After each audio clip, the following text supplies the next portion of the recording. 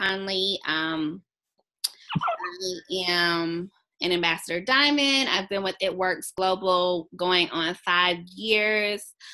Prior to joining It Works, I had um, been working on Wall Street uh, in investment banking, specifically in the private banking division, which is basically just working with clients who have uh, a net worth of $50 million or more. Um, so I specialized in uh, mutual funds to basically make the rich become richer, um, essentially. It's pretty much what I wanted to do um, my entire life was to work in the corporate space and banking and live in New York. And um, that was kind of just like my, my dream career. So that's what I went on to pursue in college. I was a business major with a concentration in finance, went on to get my MBA. Um, landed some pretty great internship opportunities, which afforded me the chance to get an offer with JP Morgan in New York um, in 2008, which was like right when everything was like falling apart and banks were, you know, uh, pretty much going out of business. And so for me to be able to land a job during that time um, was great, but it was also a lot of stress because we were all overweight, overworked, understaffed. Um, but one of the things that I realized in my capacity at the firm was that, um, you know, I really I was I was slaving, like I was killing myself, like I was at work. Um, can everybody mute themselves? Jessica, can you mute your phone, please? Yes, I'm trying. All right. So, um, what I realized was that I was getting in work at work most times by 7 a.m. Um, a lot of nights I never left before midnight. Um, and I did that for about three years. And then once I finally transitioned to not being the super bottom of the totem pole. Then I moved up to better hours, which was getting to work by eight, leaving before nine. Um, and by the time I finally transitioned out of my job, I think my hours were more like 7.30 to 7 p.m which on wall street is just like oh my god that's amazing life is great um, because you're now only working 14 12 hours a day um, but one of the things that I realized was that I was always going to be the employee. I was always going to be the worker. I was going to always be the one missing holidays with my family, not having a social life. Uh, you know, I had some severe chest pains one night that ended up sending me to the ER only to find out that I had uh, ulcers due to stress. Um, and so I realized that I was doing all of this, working so hard. And even with all of that hard work, I was never going to be the client. Um, I was never going to have the net worth minimum to be sitting on the other side of the table. And that was just like very defeating for me. You know, it was just one of those things where it's kind of like, okay, you know, even if I give my best, show up, put my head down, work really hard, and even if I go all the way to the top of the company, you know, unless I'm the CEO himself or like someone on the board of directors or like a really high role, even if I'm like a super senior VP, I probably still would not be a client being you know in the employee capacity. Most of the people that we were servicing were entrepreneurs or they um, had inherited wealth from people in their family who were entrepreneurs. And that is a railroad Rockefellers who built almost everything in New York City, people that invested in oil, um, that you know now hundreds of years later, their great great grandchildren were benef- benefiting from their decisions to kind of uh, do their own thing. And so that was kind of the moment in time where um, I had kind of started deciding that I wanted to transition out of corporate America. Um, and so I just felt like for me, it just wasn't where I wanted to go. Like I loved my job in the sense of it was a great foundation. I was around the smartest people in the world. Um, some of the experiences that I had uh, rubbing shoulders with those type of people, the events that they put on, the different um, just opportunities that I had was something I would definitely not change. And so I like to always kind of put the disclaimer out there that I'm not the person that's going to say, oh, go and quit your job, because I think that every phase and season of our life plays an important role in who we become. But I think that there will always be a point in time where we start feeling this this this season of discomfort or we'll start feeling some type of tugging on our spirit um and that's what it was for me. It was just a, a, tug on my spirit that kept saying you you know you you've served your time. Like you've done what you've come here to do. And there were just things that were popping up all around me that were just obvious clues that it was time for me to move on um, but the thing that I struggled with was that, you know, you always hear people say, oh, you should get paid for your passions, you should pursue the things that you love. And that was not very clear to me. You know, like I knew different environments that I like being in, the type of people I like being around. But when it came to, you know, especially creating a business that made a profit and you know affording a lifestyle that i wanted i didn't really know what that would be um, and so one of my girlfriends um, around the same time that I was kind of trying to figure out what was next for myself, she ended up starting her own cosmetic company and um, she reached out to a couple of her friends like hey i'm getting ready to start making lipstick in my kitchen. Um, i want to make like a completely vegan product that doesn't have all of this ridiculous stuff in it. And then i also want to like make expressive colors that aren't just you know the norm and all this stuff. And you know this is like the one friend that we're all kind of like you know she comes up with the most brilliant ideas but she's also like the crazy person that will like be fearless enough to go and do it. So we were all kind of on board, like, hey, you know, if anybody's gonna do it, it's gonna be you. Like, we'll support you. So she kind of reached out to all of her friends that had different talents and gifts and was like, hey, you're good at this, you're good at this, and I would love to like have you come and help me um, build this brand. And so I was one of those friends that was fortunate enough to be uh, in her brainstorming session. And she was like hey alena like i would love for you to help me launch this or like i would love you to put together some events because she knew that i love doing events. Um, but i would also like you to be the head of sales. And so i was like okay cool but mind you, my background was in financial services. So that had nothing to really do with sales. Like I was on the side that was completely driven by the stock market and numbers and all that kind of stuff. It had nothing to do with me pitching the final product to someone. So my first my first question was just like, you know, I'm gonna do whatever you need me to do to get this off the ground, but why me? You know, like why would you want me to do sales and I have no sales experience? And um, she pretty much looked at me and was like, every time you try a product, every time you go and buy something new, whether it's an iPhone, an iPad, you know, you going to the restaurant around the corner, within a couple of days, I've gone and purchased it myself. Like I remember specifically her example was I had bought my first iPad and I pretty much told her I had pretty much convinced her if she did not go and buy iPad in the next week or two, she was like losing that life.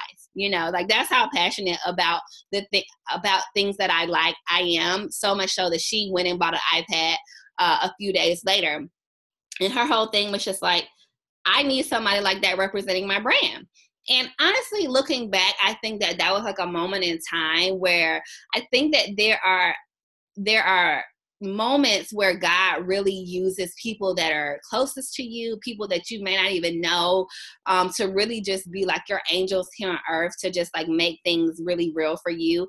And they start start speaking life into you that you may not even understand at that moment, but then it ends up it ends up coming to pass. So for me, that was a moment in time where I first realized that I did have uh, the gift of sharing, um, that I did have the gift of influence, um, and that the things that I liked and that I was passionate about not only impacted my buying power, but it impacted most of the people that were around me. You know, a lot of my friends value my opinion.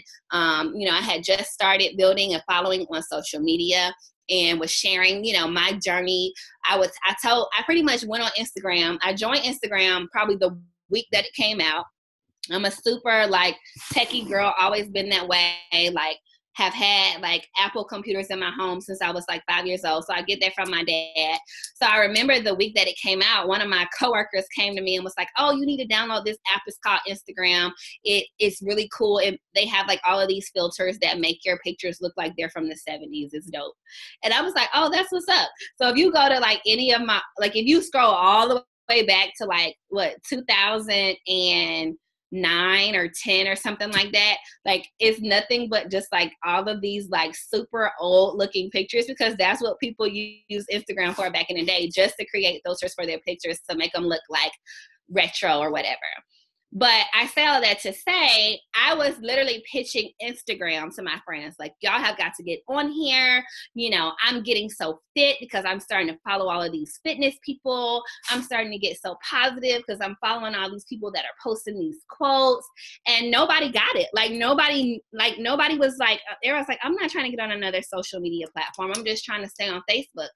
And so, once again, just a moment in time looking back that I realized that there have been several clues in my life that made it known to me that having a product, having a passion behind a product or a thing or a story, whatever, and then being able to share it and having influence over other people's buying power was something that was destined for me.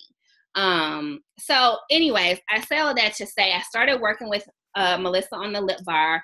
And it went from her literally being in my kitchen, um, telling me she's about to make lip- lipstick, and I'm thinking she's crazy, to turning into this huge global brand that's now sold in Target, Forever 21, Urban Outfitters, um, just, you know, uber successful it's really really hard to watch someone so close to you fulfill their dreams you be a part of it and then just wake up and be like, oh, well, I guess I'll just go back to work and do what I was doing. Like, that's just not gonna happen, you know? Uh, working with her lit a fire in me that I never wanted to go out. Like, the way that I felt, and this wasn't even my company, but the way that I felt just like being hands on and being creative and just having no limits and just being able to pour myself into something and think about how this could impact so many women, how this could impact confidence and this and that, and just being creative with just all free will that was something that I didn't experience at my job. You know, everything at work was just, oh, you know, cut and paste. You're doing the same on PowerPoint and Excel every day. You might spend a few sentences for the the appropriate client, but there wasn't any like just freedom to just do your thing in that capacity. Um, and so I was like, I want to live this life. Like I want to live in a world where I can create fearlessly and in the process of doing that make a whole bunch of money and also create my own time um, you know my own schedule uh, uh, and, and then you know just really create a life that I love that I don't have to vacation from. And that sounds cliche now because we hear it all the time, but that's what I wanted. Like that's what I wanted in my life. And so I decided that you know, through that experience, I wasn't going to let that flame go out. So I started reading like crazy, reading books about entrepreneurship, reading books about mindset, uh, personal development. And then I made a vow to myself that, that I was going to uh, no longer just write down all of my ideas and all these creative things that I had in my brain, but I was going to actually start fulfilling them. Like I was going to start taking a stab at them. Whether they worked or not was not not my issue. I was just going to go for it. Um, so, needless to say, um, one of the first projects that I worked on was I decided to create my own social media app. You know, I love the space. I saw an opportunity for some things that were not on the marketplace. Um, and me and my line sister created an app. Um, it was on the iPhone store for about two years. Um, so that was like my first company. And, you know, probably a year. I said a year for me to quit my job. The point where Lip Bar, Girl Talk, all of that stuff started competing with work because we couldn't take meetings, we couldn't grow our businesses because we were still working for somebody. And in March of 2013, I was like, it's time to go. Um, you know, of course, there's always a temptation. I remember like the week that I was getting ready to put in my two weeks, my manager put me in a room and I'm like, either she's gonna fire me or she's gonna promote me because I have been like doing nothing at this job for months. And she was pretty much like, you know, I know that you haven't decided like what's next for you or whatever, but we love you. You think we think you're great, and we want to offer, you know, you a promotion and this and that. So more money, a new title, like all of this stuff that glit was glitter and gold and music to my ears. And at that moment, all I could think was like, all I could see in my mind was like a ball and a chain. And I was like, no, like I don't care. Like there's no money that you could pay me that will replace what I've been feeling these last couple of months. And I just straight up told her, and I was like, you know, I appreciate it, um, you know, and her whole thing was like, you don't even have to take the promotion. The promotion is yours, so that if you ever decide to come back, you have, you know, this title, and you don't have to start from whatever level. And to me, that was something that I felt it's like when you are in those seasons, you know, you still got to bring your best. You know, you still have to, even though I know that I started slacking off towards the end because I was in my own space. For the six years that I was there, like I worked my butt off so that by the time I left, everybody supported me. I had really gained some skills that were transfer transferable into the entrepreneurial space. I had made relationships with people. One of my very first investors for my app was my very first manager, who was like a multimillionaire. Um, so it's like you always want to perform in whatever space it is. Um, so she gave me the promotion. I told her, you know, you know, I'm moving on. I got to do my own thing. And my manager, who's I've looked up from day one, literally looked at me and she was like, I admire you so much. She was like, You don't even understand. Like, I've watched you, you know, work all day and then go home and work on this and your businesses, and you've now done this and you do events all weekend. I don't know how you do it, but I admire you and I support you. And if you need anything, if you need any, you know, introductions, like, I'm here for you. And I just felt like that was just such an amazing transition. Left my job a month after that. Um, randomly on Instagram, per usual, saw some before and after pictures of a thigh. One had cellulite, one didn't. They claimed that the cellulite magically disappeared in 45 minutes. Um, and I was preparing for my birthday, and I had already purchased this little two-piece short number, and I was like, my my thighs ain't together this looks amazing. What is it? Started scrolling on the girl's page for hours looking for a, another thigh or a stomach that looked like mine. Finally found one and was like, yes, like that's what my thigh looks like. You know, I need to get this. Went on the site, saw that for I was about to become a customer, saw for like virtually the same price, you could become a distributor and have the opportunity to make money. Here I am. I had just quit my six figure paying job and I wasn't really trying to live in my car. So I was like, okay, this could be like a cool little side hustle for the summer. Everybody that I know needs a wrap or needs more money. Why not?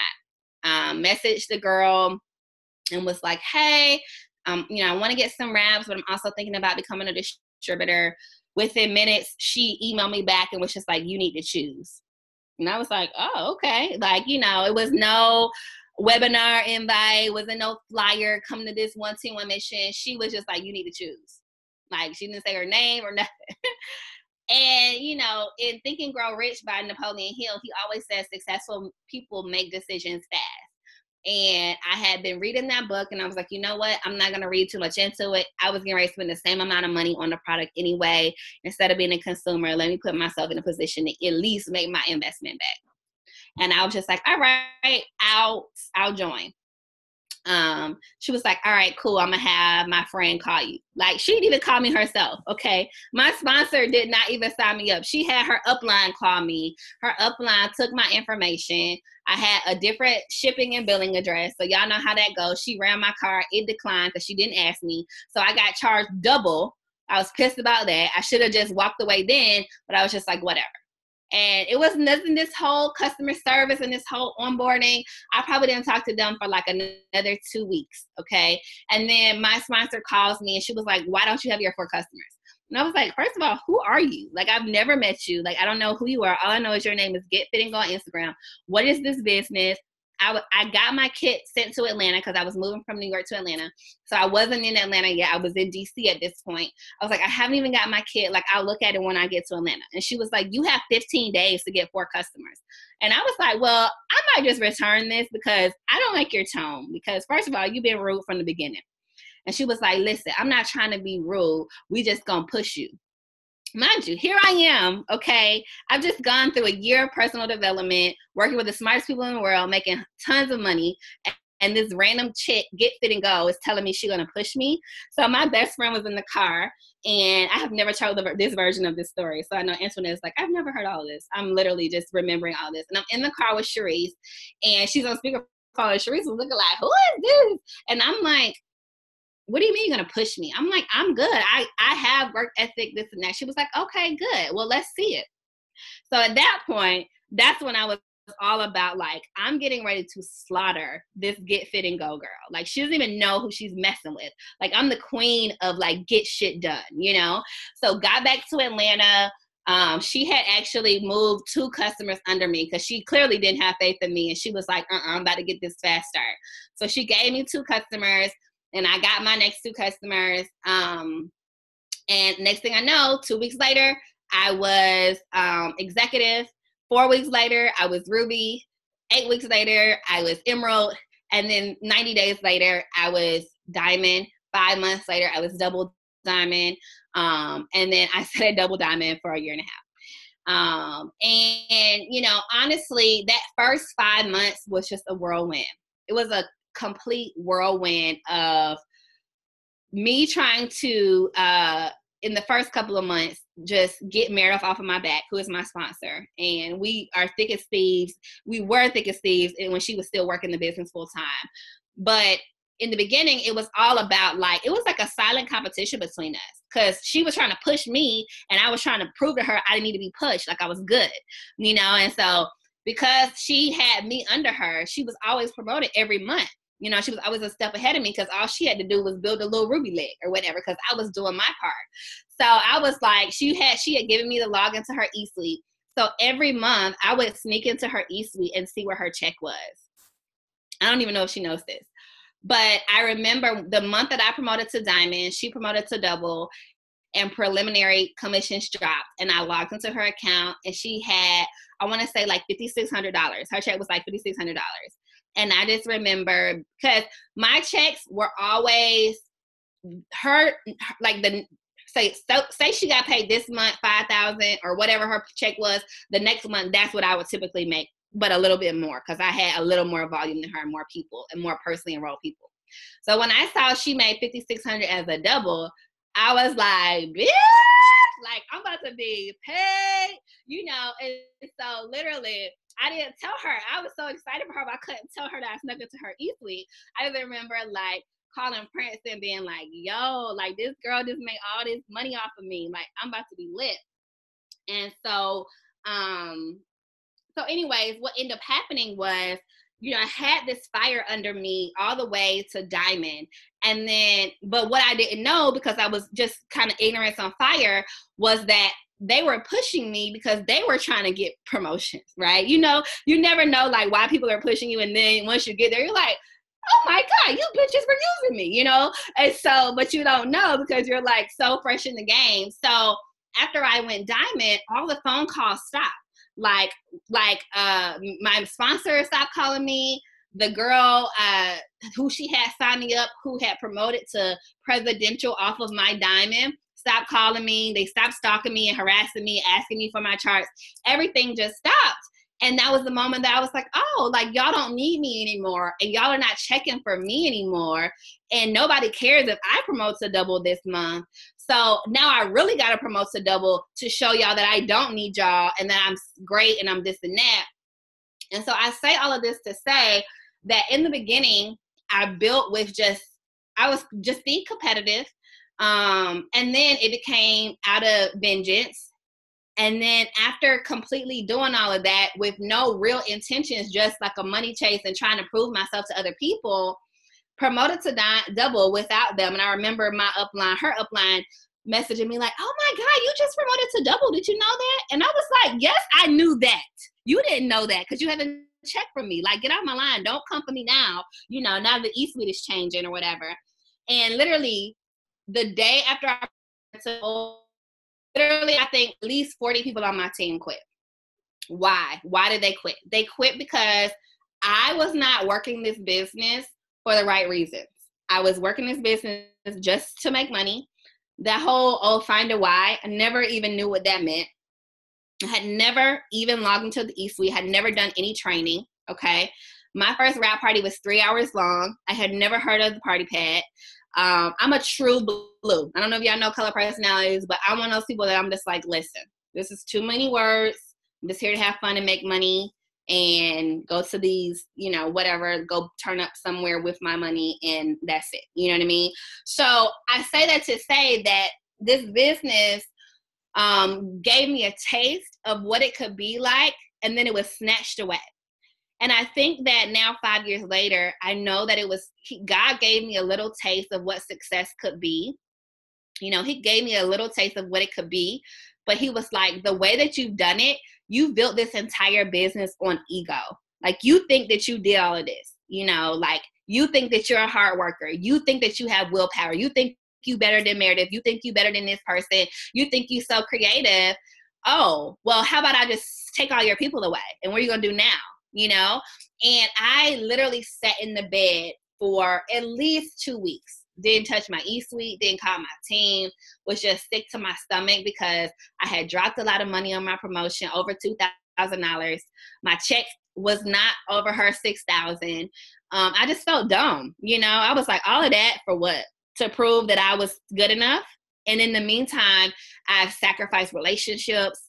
I had been cursing people out on my team about they BV and they this and they that. I wasn't telling people that it was an auto shipment for the loyal customer program. They were calling me like, "Why is this running?" I'm like, first of all, who are you? You know, I'm playing dumb, and I was just not working this business from the right space. So I, you know, I could have just left it and been like, "Oh well, that was a good run. I was only supposed to be here for 90 days anyway."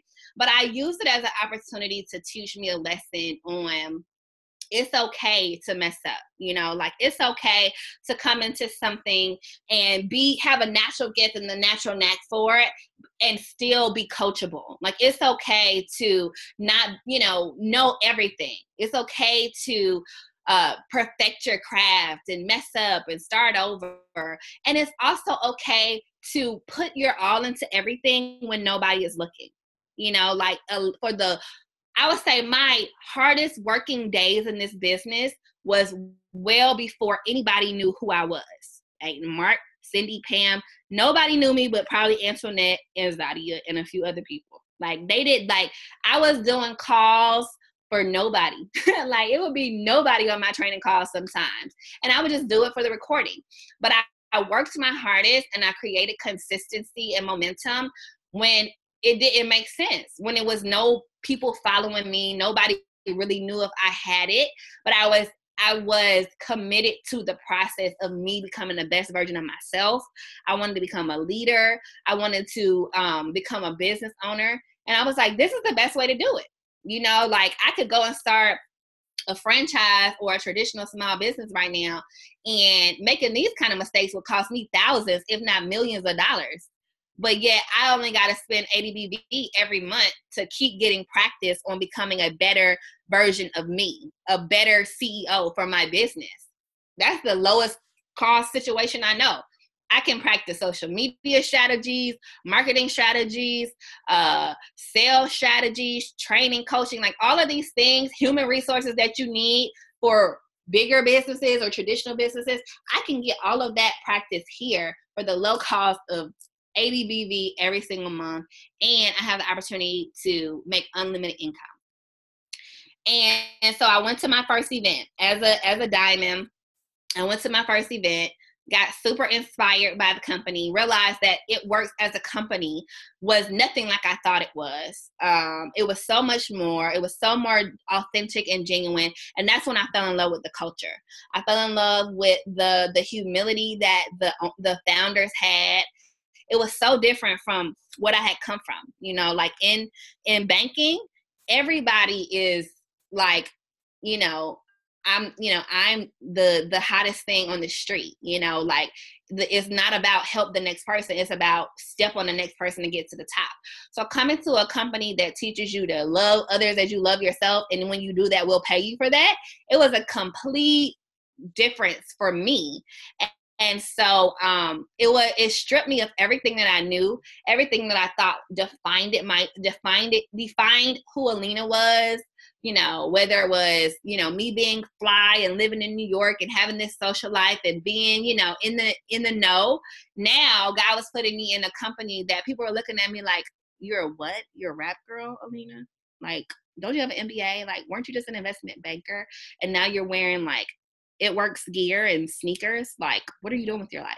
You know it, it stripped me from being around the cool kids to being around broken people that didn't have confidence that had never done a business who came from broken homes who had never seen uh, anything like this. And it made me get around people that forced me to come become compassionate. It forced me to learn people skills. It forced me to um, get people from low places to a place of success.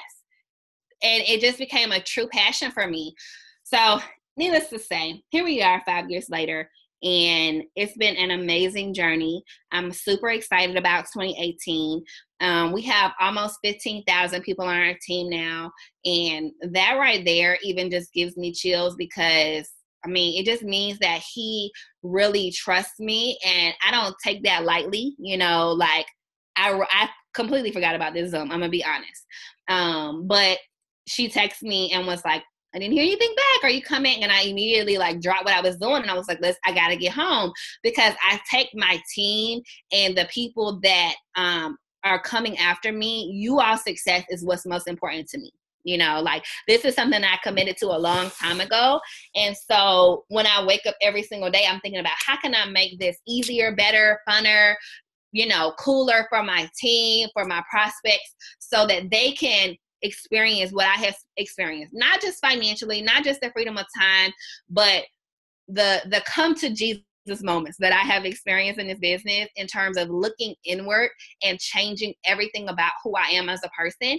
If everybody could experience that, we would literally be living in just an amazingly thoughtful world of people who have been through a lot, have come out of it, and care enough about what other people are going through to make other people's success their priority. If I can help people go through an experience like that, it gives me a reason to just like work really hard in this business because I know for you guys to be successful, you will have to go through that you know, and you will come out on the other side being like super prepared, uh, a better version of yourself, feeling super fearless.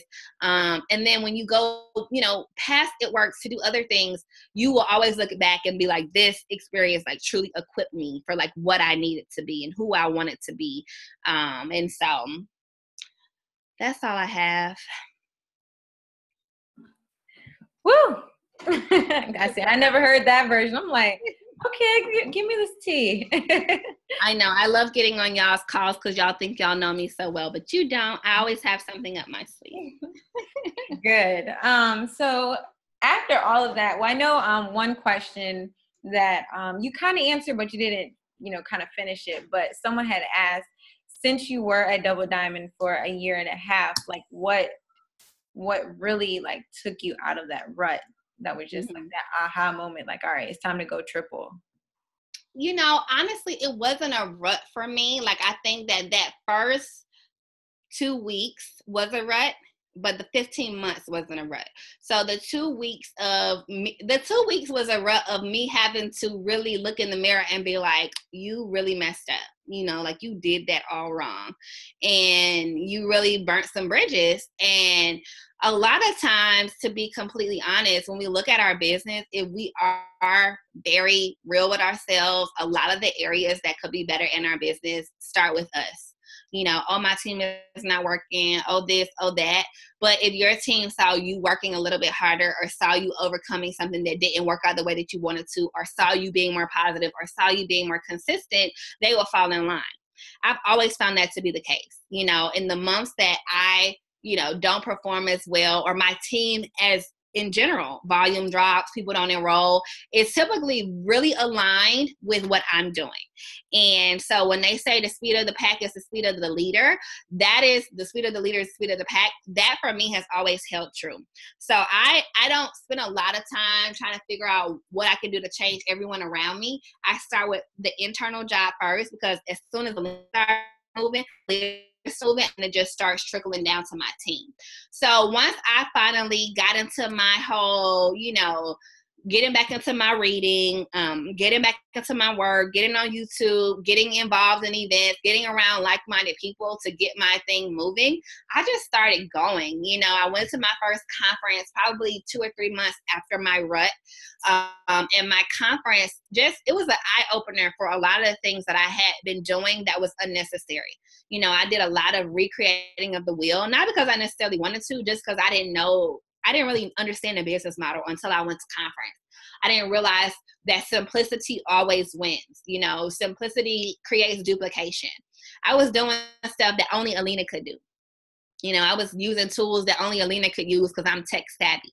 So I would get team members that I'd be like, "Oh, like that was super dope what you did, but I don't, I don't know how to do that." You know, and then they would feel defeated or they feel like their stuff wasn't as good as mine. So then I started using only like free tools and things that people didn't have to pay for, things that people could like Google how to use it, so that nobody could give me the excuse of, "Oh, well, you're good at that," because that's what they would do. Everything I would do is, "Oh, well, I can't do that because of this. So I stripped my business of all, all, things extra and just started using everything was on the iPhone. Like most of the stuff that I did, whether it was flyers, Google Hangouts, like all of that stuff, people could do right from their phone. Made it super simple so there could be no excuses.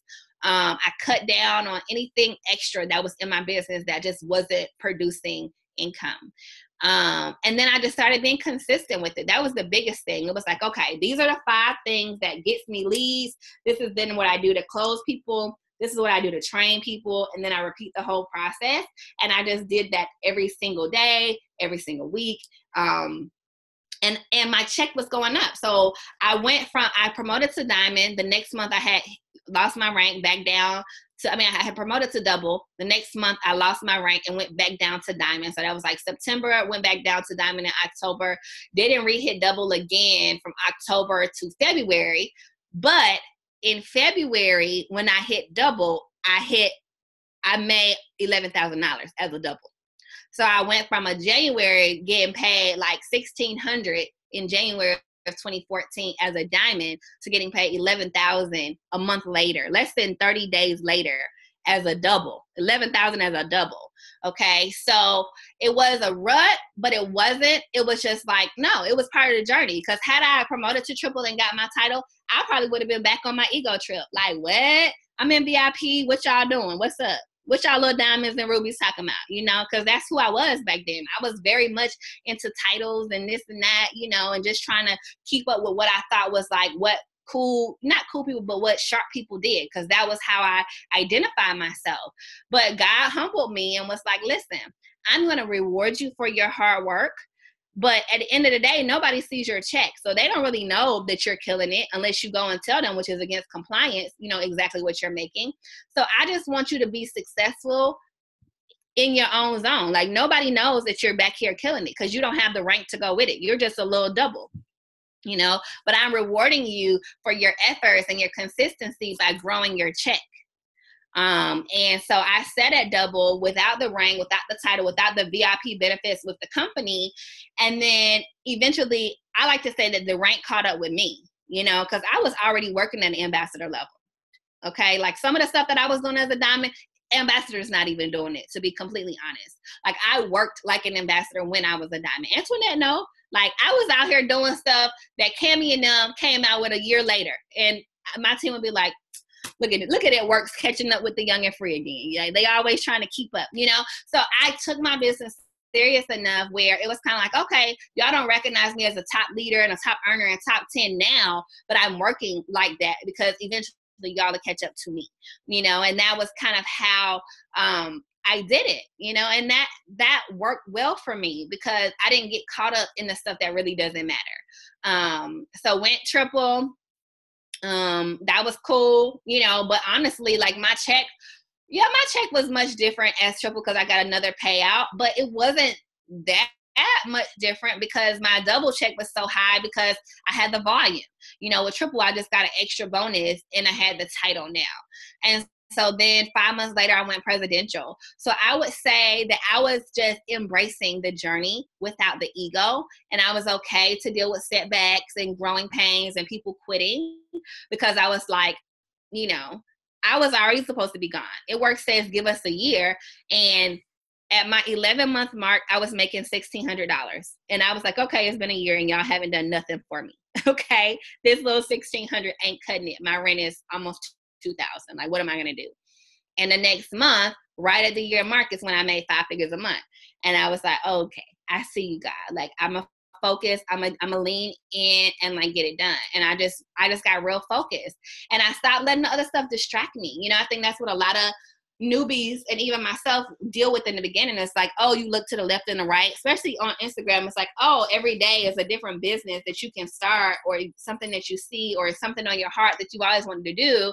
But if you could just stick with this and get it right, master it, get the money, and then you can do the other things much easier because you really focus in on something like this, you know, for at least a year a year or two. Yeah, I like that. Um, the ego thing. I definitely put that behind me behind me when I went double two because I was like, all right, I'm I'm done. I'm done with that. I'm done. Um, so I do have a question just because um, today I put into our group that um, you know I want to be intentional for 2018, and um, you know let's let's put what rank we desire to truly hit, and you know almost 10, 15 people put diamond. So I do want to hear, you know, how you went diamond so that they can kind of try to strategize how they can go diamond next year. Yeah. You know, diamond is such an easy rank and I know there are people like, what? I've been trying to go diamond for two years. Diamond is a very uh, easy rank in my mind because it's three rubies, which means that if you have a, nine, a 90 day run of consistent work, you can go diamond. And the reason why I like that is because anything pa- anything past 90 days at when you're running is really not sustainable, right? So, like 90, a lot of times they talk about in the industry how most people that are making a lot of money in this industry did it in a 90 day window, right? So, meaning you could have been with a company for two years and you're making tons of money right now, but most of the money that you're making right now came from that one 90 day run. All right. And so I like that you can go diamond in 90 days if you pop a ruby each month because it kind of gives the framework of like what the rest of your career will be like. Um, so I think that the key to going diamond is preparation for a 90 day run. So this industry also doesn't it doesn't work well for people that are just kind of like dragging their feet and doing a little bit here, come back three more months from now and be like, oh, let me get one loyal here, let me get another loyal in five months.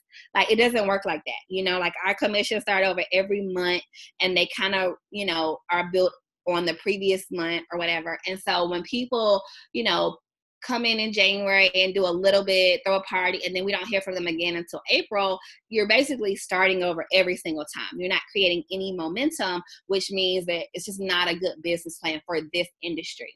So you have to pretty much commit to at least a consecutive 90 days. Um, this time of year is perfect for January through March. You know, that's peak season for us. Um, and it's a good window of time to also have an ideal candidate for both distributors and loyals. Because obviously, on the physical side, people are looking for New Year's resolutions. Um, on the financial side, people want more money in the new year. They don't want to be poor anymore. So it aligns with what's going on in the marketplace, right? Um, and so, how do you prepare for 90 days? Is number one, you have to pretty much like decide, like make a decision for the next 90 days. This is my focus. Okay, so what that means is that anything else in your life that takes your focus has to be completely nixed for 90 days. Um, and there's probably not a whole bunch of stuff that you're doing that you can't just give up temporarily. You know, if you go to brunch every Saturday, you're gonna have to give up brunch every Saturday and replace those with like coffee parties on Saturday morning so that you can get your brunch fix. You know, so like find ways to make sure that every moment that you're not at work, you are working your part-time business. That's number one. Um, and then for those of us that you know have husbands, have kids, it's also about making sure that your supporting community is on board with your 90 day run. because if you have a husband and kids that like you know during that period and they don't know what you're getting ready to do like if you haven't had the conversation with your husband like baby i'm getting ready to focus go all in on this business. You know my coach told me that if i could just drill in for 90 days use my weekends and my evenings to work this business i could see a significant growth in my income and really lay the foundation for my business it'll be so worth it you know if they don't know that that's what you're doing and then all of a sudden you're not home every weekend you're up every night you ain't barely looking at the kids they're gonna be like you need to quit you know? Like you need to quit. Where are you? you know? And so you got to have your tribe on board. That's really important. And then you got to work backwards. So meaning like i talk about how going diamond is three rubies that means that if I know I need three different rubies on my diamond chart, I'm not going to wait until March to try to pop all three rubies at the same time. I'm going to break it down. I'm going to try to get a ruby in January, try to pop a ruby in February, you know, for somebody to go emerald, and then try to pop that last ruby in March for the full diamond chart instead of waiting to the last minute. That also makes it where you, you know, have a goal every single month that you can then build upon. Um, so the then when you break it down even further into each month, if you know, okay, this month I need to pop a ruby, what does that look like? That means there need to be five people that got at least 400 in volume. Okay. Me personally, I spend the first half of my month making sure all of those boxes are filled, meaning all the distributors, all five of those people are in place. Because I could go and get a million loyals today, but if I don't have the team members I need for the chart, it doesn't matter. I won't promote, right? So I spend my first half of the month pretty much gearing everything towards the business opportunity. So that means that I'm doing Zooms, I'm doing opportunity calls, I'm hosting parties, I'm going through my hundreds list and reaching out to people and saying, hey girl, you know, I'm been looking for some people to partner with as I go into the new year. I'm a talent scout for people who are driven, this, this, and this, listen off characteristics that you think they have. I, I, you know, one of the first people that came to mind was you um, because of X, Y, and Z. If I sent you a video, would you be able to watch it? Most people will be flattered. Oh my God, I never thought about something like that. But I love, you know, I'm so think, thankful that you thought of me. Sure, send it over. Okay, great. They watch the video. You ask them what they like best. If they think it's something that could be a good fit, because you really want people that think it'll be a good fit, then they'll say, yeah, I can sign up on Friday. I can sign up on payday. You know, if you know you need five people and 10% of the people that you're going to talk to will be what ends up getting your five, that means you need to talk to 50 people. Okay. So it's a pure numbers game. If you know you need five distributors, and really you only need three, and then you need to help one of them get two. If you know you need three distributors, talk to 30 people. Okay, so in a 10 day period, you talk to three people a day. That's not a lot of people. Or if you want to do it in a five day people a five day window to give yourself a buffer, you know, you talk to six people a day.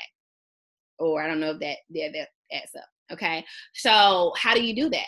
Uh, one of the ways that I've been signing distributors lately is through Instagram story polls. I, I signed seven distributors literally from doing an Instagram poll. Who's who's been thinking about partnering with me? Who could use some extra money? And the thing that you do in the poll is it'll it'll default to yes and no. I change it to both yeses basically. I'll say yes, I'm ready, or yes, but I'm a little nervous so either way, you interested. Okay. So then I follow up. Hey, I saw you completed my poll. I put a screenshot of the poll in there because they all be always be like, what poll? What are you talking about? Bitch, you hit the button right here. Okay. It's right here. See your name on it. Don't act like I'm stalking you. I hate when they do that. It really pisses me off. I don't know what you're talking about. Yes, you do. You see your name right here. You hit the poll. Oh, my daughter must have hit it. Your daughter is too. She didn't hit it. You're lying. You wanted to get in on it. Now you're shook. Whatever. So I send them a screenshot because I hate when they try to play me like they didn't do my poll. And so, anyways, I digress. So I'm like, all right, um, you know, a lot of times if they've been following my story, like, and that's why I really build in the Instagram story now. I don't even really do a lot of pro- like I post on my regular feed, but I do more prospecting in my stories because I feel like it's a stronger lead. Meaning, like, if people are really watching my stories, they really are intrigued by what I'm talking about You know, like they're not just randomly scrolling and they happen to see me. If they're looking at my stories, they're interested in what I'm talking about. So most of the people that are in my stories know what I do for a living. So it's not this whole, oh, what are you talking about? What are you partnering with? Even though this girl was slick the other day and she posted my poll talking about she want to partner with me. Then I got on the phone. She was like, oh yeah, I want to partner with you to do a kid, a kid and mommy event. What? But whatever. It's a networking event. Okay. You just never know what these people are gonna say. So, anyways, um, yeah. So I've been getting distributors from the poll, and basically what I do is, you know, I say, "Hey, I saw that you you said that you were interested. Um, I would love to chat," and I immediately try to get their phone number because I want to get it off of Instagram as fast as possible to dig deeper into why they're intrigued. Um, once I get them texting me, I normally will say, Hey, have you ever watched any of my overview videos? Do you know what I do? And sometimes people say, Girl, I don't watch your whole YouTube page. Wonderful. Well, let's set up a chat since you already stalked me. Great. We can go ahead and sign you up.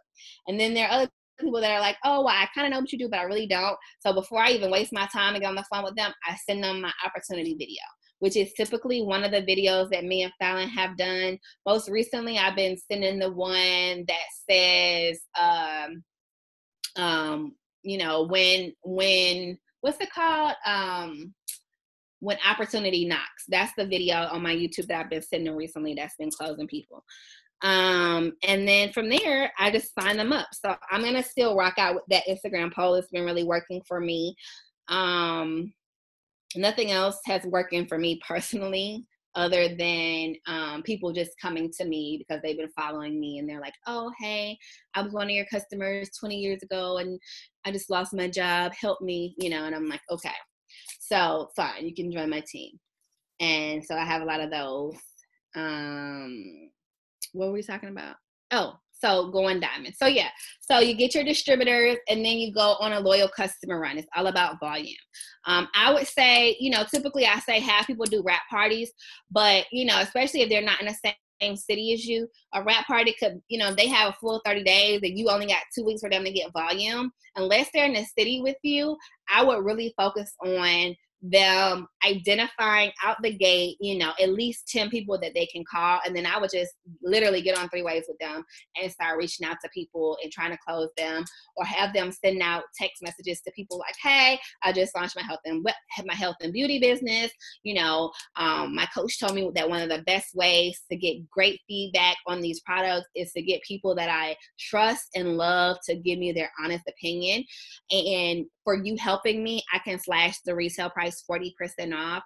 Um, when I was thinking about you, I know that you just lost your edges from your baby. So I would love for you to test out my hair, skin, and nails. It'll only be 33 per month for three months. Do you think that you would mind testing that for me? I'm like, oh, yes, girl. Thank you so much for thinking about me. 30, no problem. What do you need from me? Your car great. I literally have all my newbies do that. They rack up. Like most of my newbies get like eight customers these days because I have them write a list of 10 in case some people don't have any money or they don't want to support them whatever. And I get the volume out the gate. I get my Christmas cash and everybody's happy. And that's really it, guys. Like, that is really it. I think that the biggest thing for going diamond is not skipping out. You know, it's kind of like don't skip leg day, don't skip Mondays, all those little fitness rules. It's the same thing with It Works. It's like show up for work every day. You know, like the tasks are super simple, but if you miss a day, you miss action. You know, like today I was like super busy prepping for a lot of stuff that's going on. So I didn't get to do a lot of Instagram stories. So I don't really have a whole bunch of leads. But normally, like every day, I'm adding to my hundreds list because every single day I have new people commenting and shooting me DMs and all that stuff because I'm showing up every single day you know so the more consistent you can be with the little bitty tasks then eventually it becomes like oh i actually do have five people on my team that all have 400 that was pretty easy. Let me do it again next month. Let me do it again the following month. Let me do it again the following month you know and then you look up and you're rich. That's it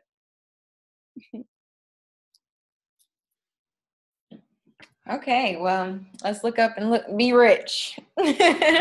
um, okay, so I did have one person ask um, about what is a good book to read um, that you can recommend right now.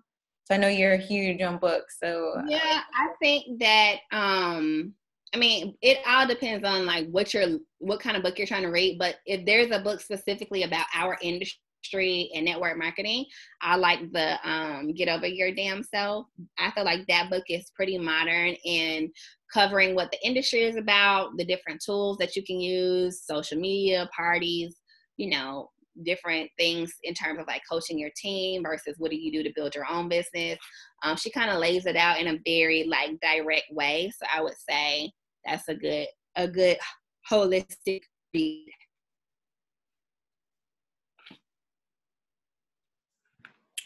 Okay, well, that was all the little questions that I had. I don't know if anyone else had any other specific questions um, to ask. So you can unmute yourself for a few and um, ask the questions.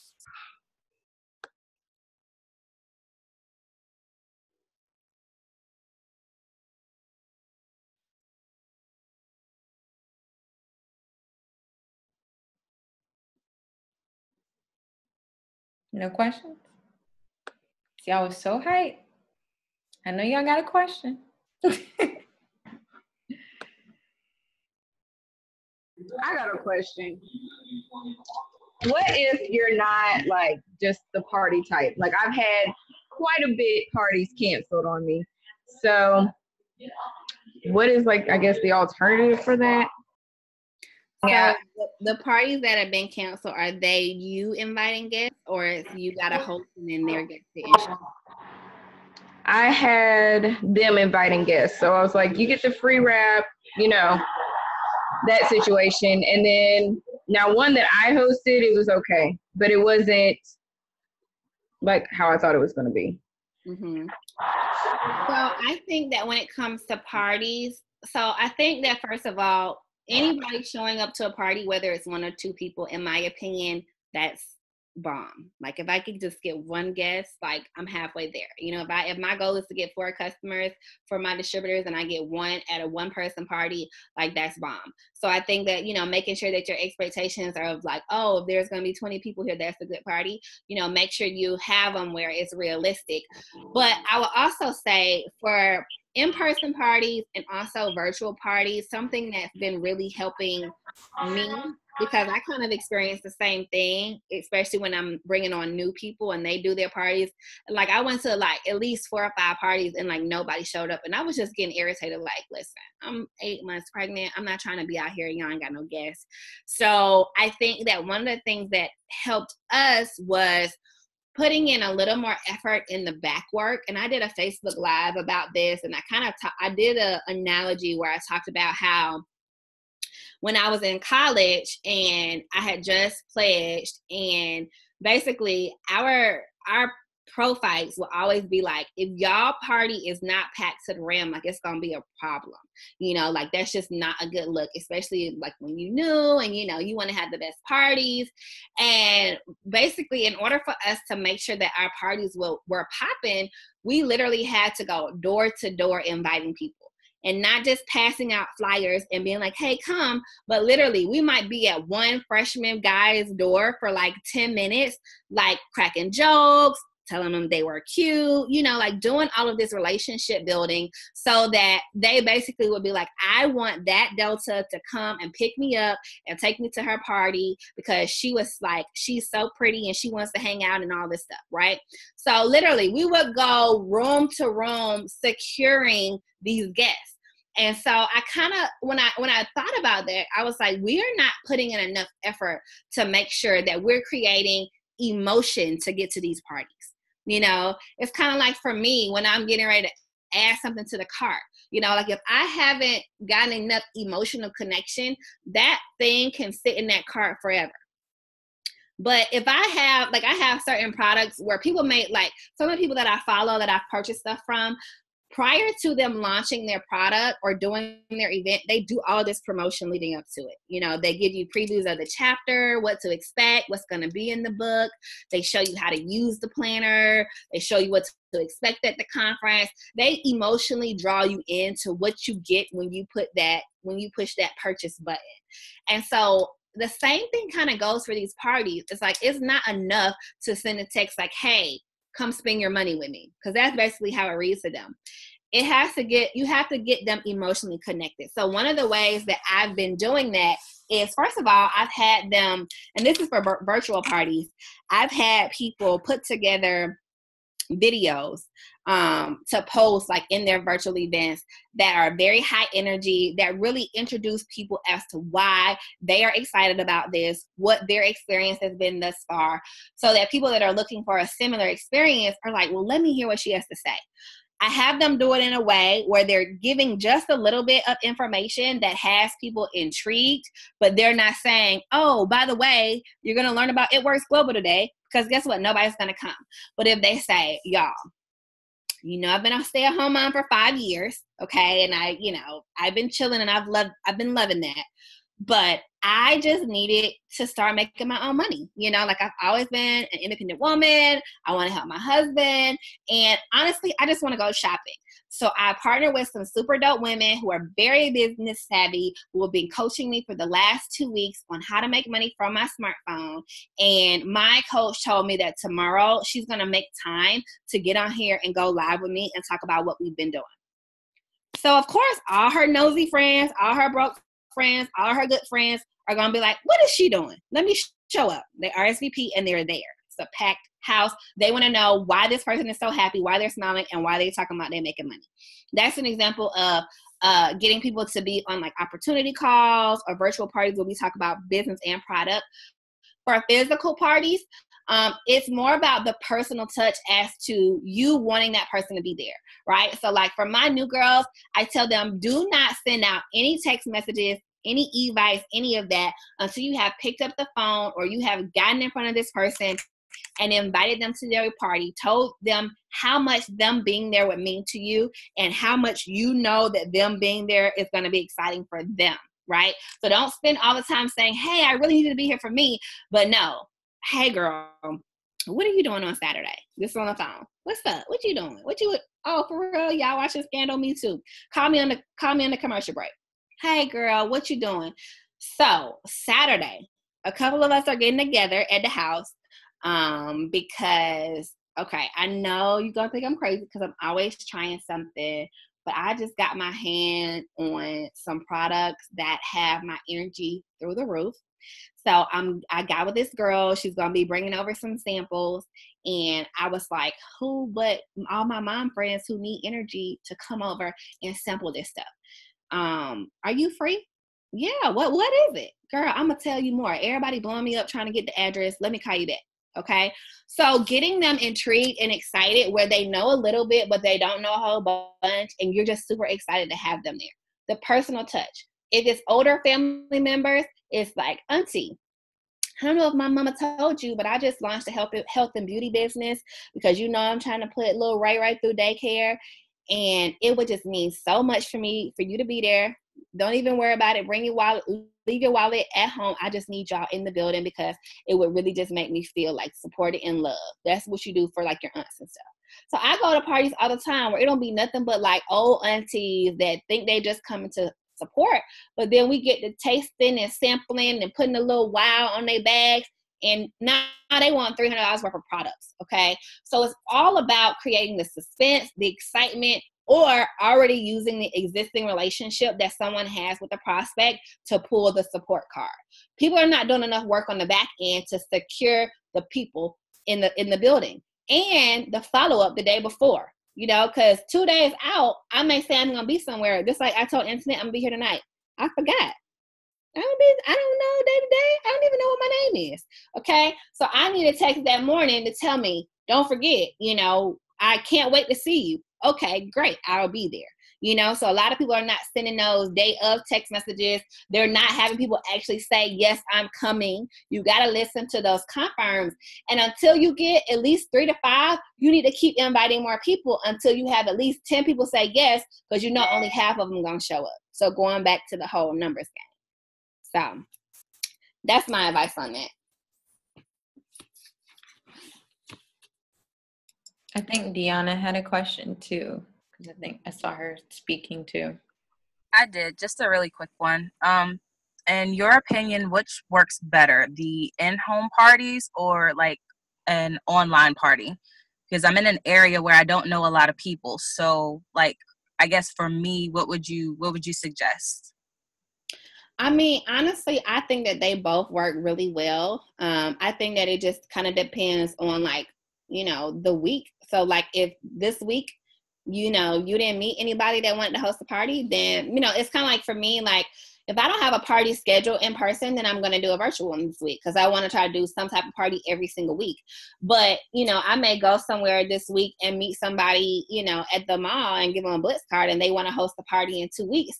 So the week that they're hosting the party, I might not do a virtual party. So I think a combination of both. You have a party, you need to be doing virtual parties every single week.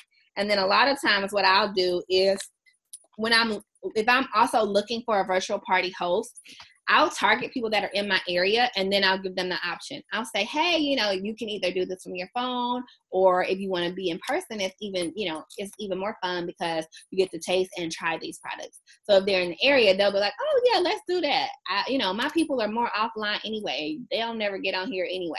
You know, so I've had a lot of people that were initially supposed to be online hosts become in person. So it's it's all about just leaving the options open and seeing like what what's gonna pop off that week.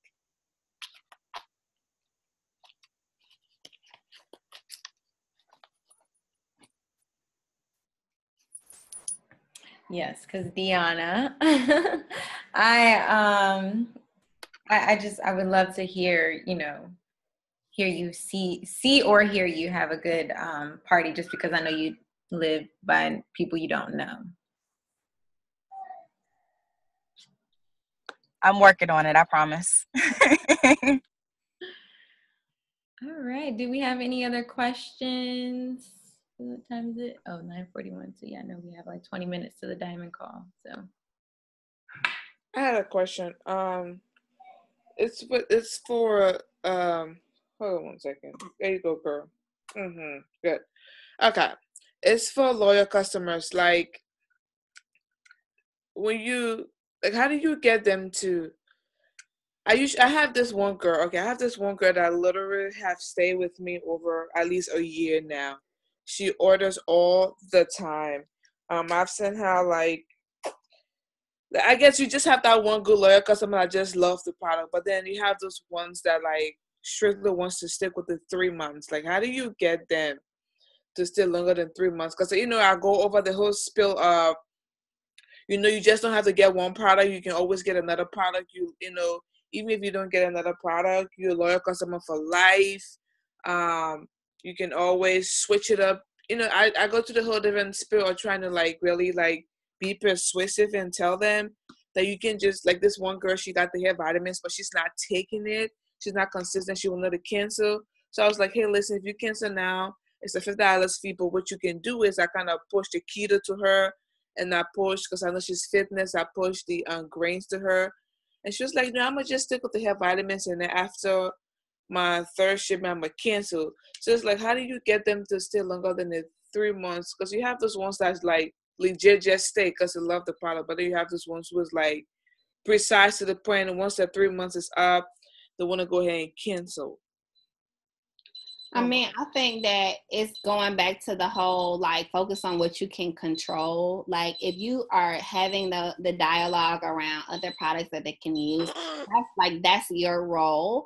Um, and so if they're adamant like, no ma'am, I'm not trying to try them greens, like I was just here for my edges and you're not getting more than, you know, a couple of hundred dollars from me, then that's just that because you never know. Like I had a a friend who was hair vitamins and then like after her three months, she was done. She didn't want nothing else. She wasn't interested in any other products. Then we came out with the keto coffee, and she hit me back like, "Hey, you know, I never want anything else, but I want the keto coffee now." You know, so I think that constantly having like some type of um, newsletter that lets people know how they can get in contact with you is always good. But going back to the same thing I was saying about the party, it's once again about creating the emotional uh, intrigueness and excitement about what you're talking about. So, not just trying to persuade someone, you know, that's not something that I've ever done. You know, five years, I don't persuade anyone. You know, I'm not pitching to anyone.